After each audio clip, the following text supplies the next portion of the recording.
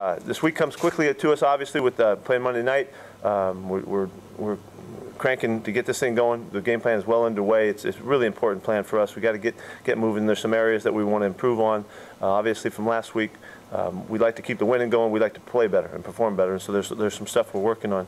I, I didn't mention much uh, uh, after the game and all that uh, about what Bruce Irvin did in this game. Bruce had a fantastic football game for us. He was all over the place. He had eight tackles and he had a sack and a forced fumble and a pick and and uh, um, just looked really comfortable playing the position and all the different things that we're doing with him. And you know, if there was thought that this was an experiment at one time, you know, it's uh, it's totally working out, and we're really excited about what he's doing. A lot of guys played well, but I just didn't, mention him, and I thought it was worth it because as we track you know, his return to us and then the transition that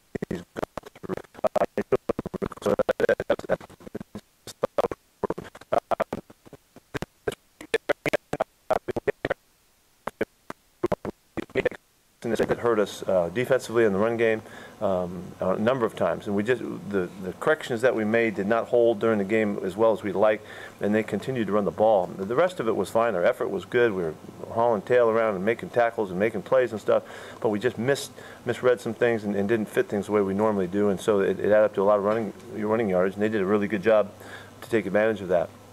And it kind of happened on the other side too. We made a lot of mistakes in this game, and so uh, this is a really important week for us to, to get back to really being fundamentally solid and, and on on point uh, in both sides of the football. And so uh, it was interesting that special teams was dead on it all the way across the board. They had a great game for us, so it wasn't there. It just happened on O&D, and particularly up front on both sides. So our focus really goes there, and we want to see if we can improve our play. Uh, Tampa coming in, uh, they come off a little break here, uh, a bit of a break, and, and I know that they're they're going to be uh, dying to, to, get their season going and get rolling in the right direction. This is a very tough football team. They're very physical. They had a really uh, uh, rigorous start. The first four games, they're in every one of those games and could have won them all, and, and, and they're very difficult to take. And uh, I know that they want to get back going again and get rolling, so we know we're going to get their best shot. And they're uh, very aggressive on defense. Um, they have a lot of playmakers, highlighted guys that make plays.